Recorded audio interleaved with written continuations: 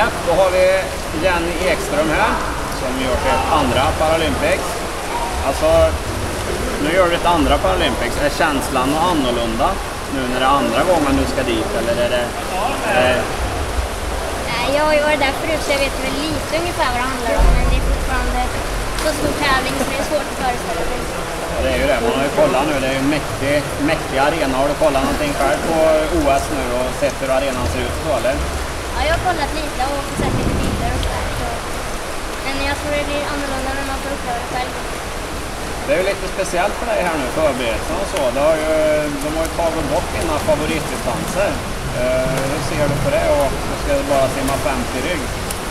Ja, det är, självklart hade det varit roligt med fler distanser. Det hade varit. Men eh, nu är det 50 rygg som jag får satsa på. och Ja, ligger på det.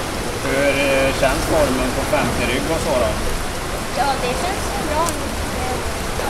Hur, hur är det? Har du några medaljchanser på 50 rygg? Hur ligger du till om du jämför tiderna mot dina konkurrenter?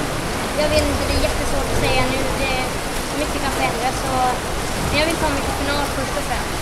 Hur många är det som går till final då? Åtta. Åtta. Hur många är ni totalt som startar på 50 rygg? Jag vet inte. Men eh, om jag känner igen er rätt så åker du väl hem med en medalj va?